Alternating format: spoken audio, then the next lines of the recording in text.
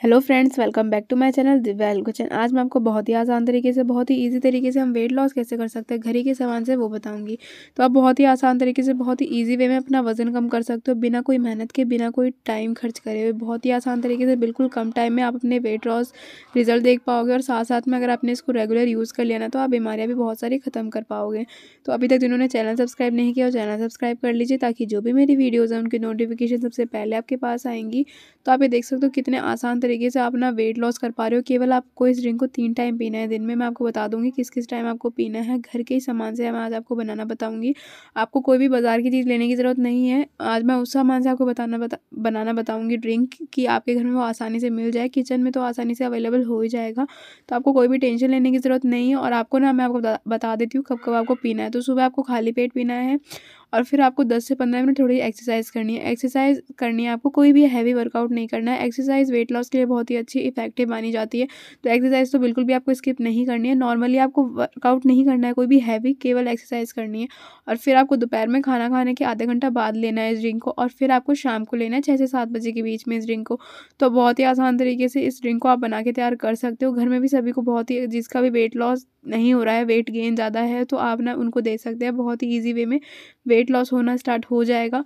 और इसको अगर आपने चार दिन भी पिया ना लगातार तो आप ना बहुत ही आसान तरीके से वेट लॉस रिज़ल्ट देखने को मिलोगे। आपकी एक से दो इंचज़ कम हो जाएँगी।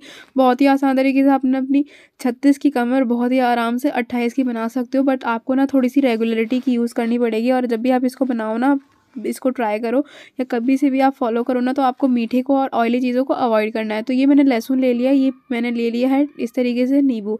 तो लहसुन और नींबू सभी के घर में अवेलेबल हो जाता है, आप ये देख सकते हो। और ये ना, जो लहसुन है ना, खून पतला करने में बहुत ही मदद करता है।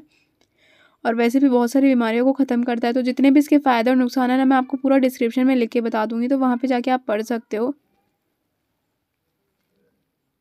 तो आपको इस तरीके से दोनों ही चीज़ें ले लेनी है तो बहुत ही आसान तरीके से दोनों चीज़ें मिल भी जाती हैं हमारे हमारे पास और किचन में। तो लहसुन को आपको ये नहीं है कि पूरे इतने लहसुन को आपको एक साथ ही ले लेना है, आपको ना केवल तीन से चार कलियाँ लेनी है, कलियों का यूज़ करना है।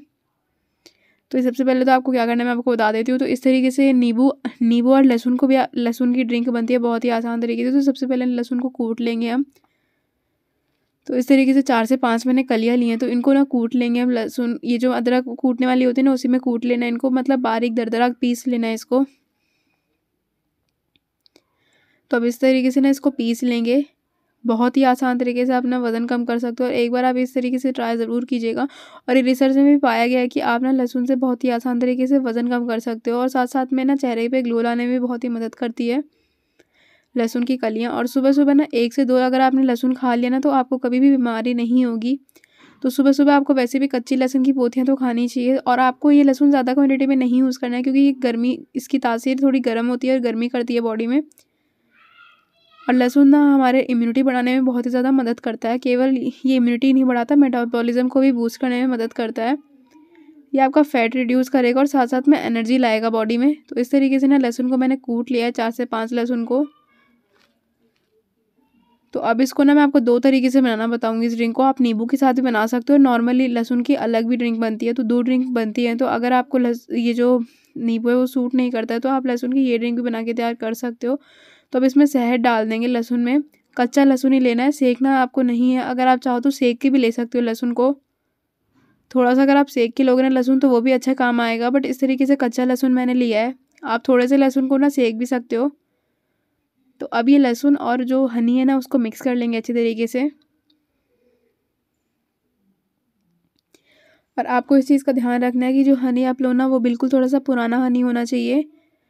तो ये मैंने गर्म पानी ले लिया है एक गिलास। तो आपको सबसे पहले तो ये लहसुन और जो मैंने हनी मिक्स जो डाला ना एक साथ मिक्स करके, उसको मिक्स करेंगे सबसे पहले तो। और मैं आपको दावा दिलवाती हूँ, बहुत ही आसान तरीके से आपकी बहुत सारी बीमारियाँ ख़त्म हो जाएँगी बॉडी में। और अगर आपकी कोई भी बीमारी है तो पहले आप डॉक्टर से कंसल्ट करिए। उसके बाद इस ड्रिंक को ले लीजिए, क्योंकि ना पहले हमारे को डॉक्टर की कंसल्ट लेनी बहुत ही ज़्यादा ज़रूरी होती है। परमिशन लेनी ज़रूरी होती है। अगर आपको कोई है, कोई बीमारी है तो आप ले सकते हो इस ड्रिंक को डॉक्टर की कंसल्ट से। नहीं तो वैसे आप नॉर्मली हो तो आप ले सकते हो इस ड्रिंक को। बहुत ही आसान तरीके से वज़न कम करती है। साथ साथ में कई बीमारियाँ भी ख़त्म करती है ये। तो जितने भी इसके फ़ायदा और नुकसान है ना, मैं पूरा आपको डिस्क्रिप्शन में लिख के बता दूँगी। तो ये देख सकते हो, पहले तो इस तरीके से मैंने ड्रिंक बना के तैयार कर लिया। अगर आपको नींबू और लहसुन की बनानी है ना तो आप ना, जैसे मैंने लहसुन को पीस के रख लिया था ना, कटोरी में वैसे आपको रख लेना और फिर आपको शहद को तो स्किप कर देना, नहीं डालना है और ये नींबू का रस डाल देना है दो तीन चम्मच और फिर इसी तरीके से आपको पानी में डाल देना है। बट इस तरीके से मैंने केवल जिनके, क्योंकि अभी ही सर्दियाँ चल रही है तो सबसे पहले ना, नींबू बहुत लोगों के नुकसान भी करता है, शरीर में एलर्जी भी पैदा करता है और साथ साथ में ना जो घुटनों में दर्द भी स्टार्ट कर देता है। इसलिए मैंने केवल आपको लहसुन की लहसुन की बताई है। और चाहे तो आप लहसुन सेक की भी ले सकते हो नॉर्मली भी ले सकते हो। अगर आपको ये ड्रिंक बनानी है तो आपको ना, अगर तीन टाइम पी रहे हो आप ना तो आपको कम कम ही लहसुन लेना है। दो दो लहसुन ही आपको पीस के डालना है। तो अगर आपको रेसिपी अच्छी लगे तो वीडियो को लाइक कीजिए और हमारे फेसबुक पेज को फॉलो